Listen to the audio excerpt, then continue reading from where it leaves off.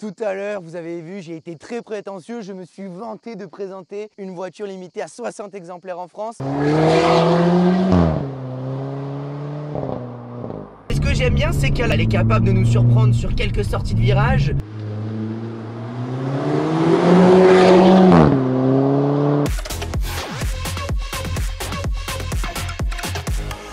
Bonjour les amis et bienvenue sur ma chaîne YouTube Emery Cars. Allez en des vidéos de qualité mais aussi de courte durée sur des voitures de sport à la fois sympathiques mais aussi atypiques. Et pour ça, je crois que vous déjà vous abonner.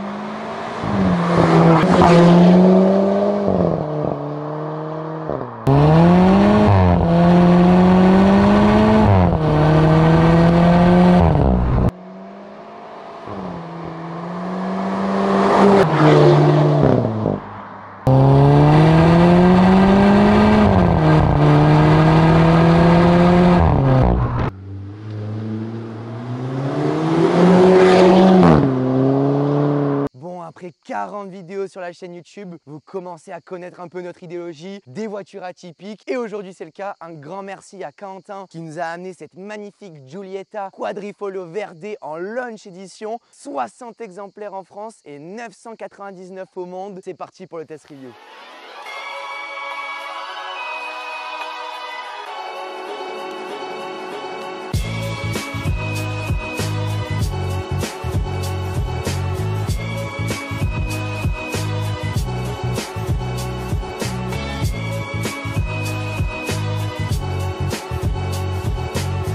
Savez que je vous aime, hein, parce que là, il fait 40 degrés, j'en peux plus, je me suis même accordé à la voiture. Ça montre mon esprit de puriste. On se retrouve sur la face avant. Tout d'abord par des feux big xénon directionnels, très esthétiques. Alors, soit on aime, soit on n'aime pas, mais elle peut pas nous laisser indifférents. Au niveau de la face avant, on retrouve ce magnifique Scudetto avec tout le bas de caisse différent pour la launch édition. C'est du plastique malheureusement comme l'intérieur. Oh là là, les puristes alpha, ils vont me critiquer s'il vous plaît. Ne m'assassinez pas dans les commentaires. J'adore cette voiture et c'est pour ça que je l'ai présentée aujourd'hui sur cette chaîne YouTube. On retrouve également le nid d'abeille ici, très joli. Et comme dirait le propriétaire, il a rajouté une wisherie ici avec le drapeau de l'Italie et c'est parti pour la suite. Stop, stop, attendez, je peux pas continuer cette vidéo sans vous parler de ça. La plaque d'immatriculation haut à gauche. Bon, comme disait Quentin, c'est vrai que pour les radars, c'est pas l'idéal, mais c'est encore un esprit atypique qui la différencie de toutes les autres. Alors là, je sais que les puristes Alfa Romeo vont écouter de deux oreilles au niveau des performances, du moteur et des chiffres. 0 à 100 battu en 6 secondes 6 pour un poids avoisinant les 1 tonne 4, 1 tonne 5 poids U en marche, c'est-à-dire avec le conducteur et le plein fait, 340 Nm de coupe, mais vous vous en doutez, si je la présente aujourd'hui, c'est qu'il y a eu un petit tuning fait par le propriétaire. Un stage à l'éthanol et un filtre à air BMC qui vient augmenter la puissance de la voiture. Donc on passe de 240 à 275 chevaux et de 340 à 380 Nm de couple. Donc c'est une belle évolution. Après, le propriétaire veut garder l'origine de la voiture. C'est un pur passionné. Et je ne peux pas fermer ce capot sans vous parler de ce moteur totalement mythique chez Alfa Romeo. Donc un 4 cylindres 1750 cm3, c'est un petit clin d'œil aux serettes qui reste dans nos âmes et dans nos cœurs. On se retrouve sur un aspect qui fait toute la voiture, les jantes. Je ne cesse de me répéter, on se retrouve sur des jantes nommées Competition de 18 pouces en full black avec des étriers Brembo 4 pistons et un disque de 330 mm de diamètre. Et on va voir si le freinage est à la hauteur de la réputation de cette Alfa Romeo. Puisqu'une fois n'est pas coutume, on continue sur de la wisherie, comme pourrait le nommer Quentin. Ici, on a le petit bouchon en carbone avec le 4 trèfles au milieu.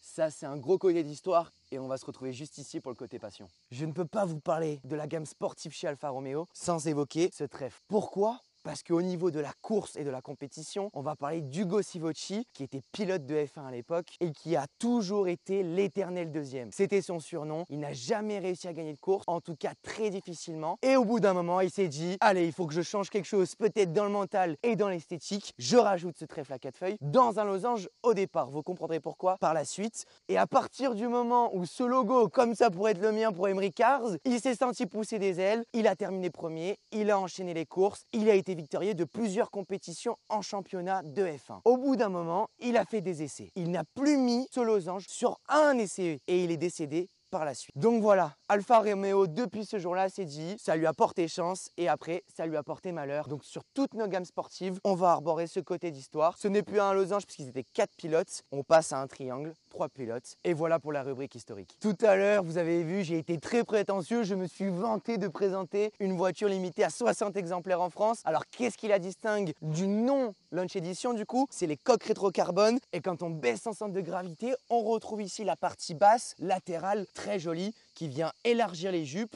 et ça a un côté beaucoup plus sportif. Au niveau de la Launch Edition, il y a le béquet en carbone qui vient changer toute la face arrière de la voiture. Il est vraiment très impressionnant. Le propriétaire a fait teinter les feux ici. Ça, c'est l'ego les couleurs, mais ça rajoute un peu côté esthétique avec les vitres teintées et tout le kit Zender qu'on a en bas, spécifique à la Launch Edition. Au niveau de la ligne d'échappement, on est sur un changement de duplex Magneti Marelli, qui est une ligne italienne. Donc, s'il vous plaît, les Italiens, mettez un pouce bleu pour la ligne et pour la voiture. C'est parti une fois à l'intérieur de cette 4C, je me suis rappelé quelque chose de très important. La Launch Edition, à partir de 2014, il y a eu deux changements. D'abord, on est passé d'un bloc en fonte en aluminium provenant de l'Alfa Romeo 4C, que vous connaissez très bien, on vous met une image dès maintenant sur le montage. Et deuxième changement, au niveau de la boîte de vitesse, on reprend aussi la boîte de l'Alfa Romeo 4C, bien sûr en moins efficace, vous pouvez vous en douter, mais voilà, c'était un rappel important à énoncer aujourd'hui. Au niveau de l'intérieur, bon là aussi, je vais me faire éclater en commentaire, il y a Ben qui rigole derrière, il dit toi mon pote, t'es une le beau drap, mais c'est vrai que voilà, on va l'appeler la reine du plastique, hein. on se rappelle chez Renault, l'intérieur n'est pas vraiment fini, on a une console centrale qui est pour moi pas du tout esthétique. Après, ce que je dis pour les Renault, c'est est-ce que la conduite et les sensations au volant vont me faire oublier l'intérieur. Restez dans l'essai pour qu'on aborde ce point-là. Au niveau du volant, on se retrouve avec un volant en trois branches, en cuir, surpiqué, pas vraiment de qualité. On a les petites euh, extensions de palette ici rajoutées par le propriétaire. On a un compteur affiché à 260 km/h qu'on n'exploitera pas bien aujourd'hui, sauf en Allemagne, évidemment. Et qu'est-ce qui caractérise une Jolietta normale d'une Launch Edition C'est également les sièges semi-baquets. Alors ça, voilà, c'est une belle pièce de la voiture qui la modernise, qui la rend sportive. On a de l'alcantara et du cuir et c'est vraiment très beau. Avec les ouvertures ici et l'inscription, ça c'est quelque chose qu'on aime. Alpha, s'il vous plaît, réveillez-vous. Et maintenant, c'est parti pour faire du show. Je vais faire trembler Quentin. Restez pour l'essai. Les amis, bienvenue à l'intérieur. Nous vous rencontrez pour la première fois du coup Quentin, le repropriétaire. Donc voilà, donc euh, on est sur une belle route de montagne, on a 275 chevaux, une Alfa Romeo, un propriétaire sympa, ça peut faire qu'une belle vidéo, t'es d'accord Eh oui, évidemment. on leur donne un peu une impression de ce que ça donne Puis au moins on a une belle italienne. Voilà, c'est ça. On peut donner une bonne impression. Allez, c'est parti Alors déjà on peut voir tout de suite que la sonorité ça a été modifié par rapport à d'origine. On a le ce que j'aime bien c'est que c'est pas trop T'as pas d'épée pendant 45 secondes derrière, c'est une belle déflagration et quelques légers peu entre 4000 et 6000 tours. Et puis après, euh, c'est la sonorité du 4 cylindres qui fait le reste. La première chose qu'on peut aborder déjà, c'est la boîte de vitesse comme on a pu l'expliquer tout à l'heure.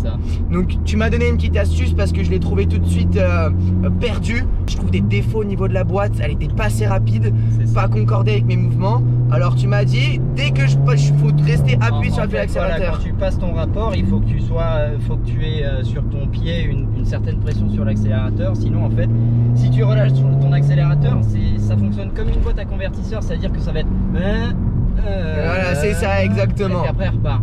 Donc petite astuce du coup pour les puristes de chez Alpha. Mais sinon après ce qu'on pouvait dire aussi c'est que après un ressenti de conduite et l'avoir testé euh, pendant euh, une dizaine de minutes, je trouve que ça se rapproche plus d'un comportement d'une GT que d'une vraie sportive. Et ça, et ça, tu me l'accorderas. Voilà, c'est ce que je te disais euh. Voilà, une sportive, ça va être une Mégane avec un châssis. C'est ça ultra rigoureux. Là, c'est vraiment une voiture euh, plus euh, dynamique. Alors, il faut pas oublier que ça marche quand même. Et ce que j'aime bien, c'est qu'elle a, elle a une tendance à être très très joueuse aussi. On a un milieu en fait entre un châssis assez joueur, mais aussi sécurisant. Euh, elle est capable de nous surprendre sur quelques sorties de virage.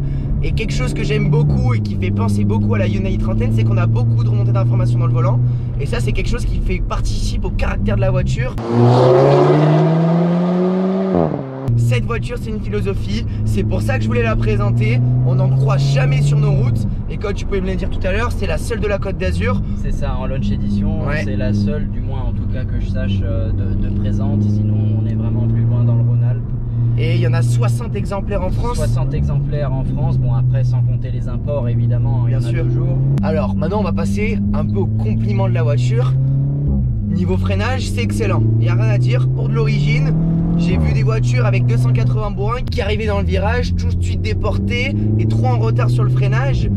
Et le- la légère tendance au survirage en sortie de virage aussi, ça c'est pas très dérangeant, ça lui donne un côté beaucoup plus sportif. On n'est pas sur du 4 roues motrices, hein, on le rappelle. Euh, donc euh, voilà, c'est les petites compactes sportives. On le rappelle, au niveau du tarif, on est à 17 000 euros. C'est ça, moi je l'ai touché à 17 000 euros. Et, Et aujourd'hui, 50 ça 000 cote. Voilà. Et aujourd'hui, ça cote environ à 20, 22 000. Au niveau de la consommation, qu'est-ce que tu en penses? Euh, dans les 11 litres au 100. D'accord. Là, l'éthanol, on est plutôt dans les 14.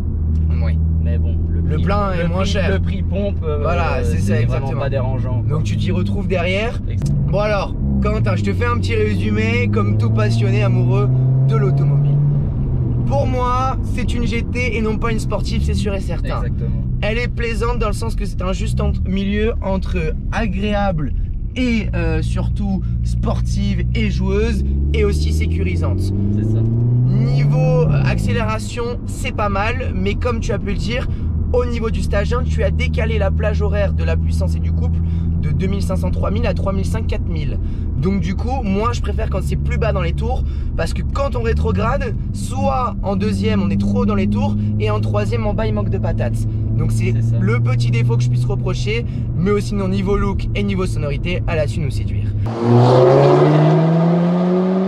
N'oubliez pas de mettre un pouce bleu, de vous abonner à l'Instagram de Quentin qui s'affiche en bas de l'écran, également mon Instagram. Vraiment, le pouce bleu, c'est très important pour le référencement. Alors, s'il vous plaît, mettez-le. Les Italiens, on remet, on remet, on remet. Ils vont plus en pouvoir ma tête. Et je vous dis à très vite. Et c'est parti pour le show. Ciao, ciao. Ciao.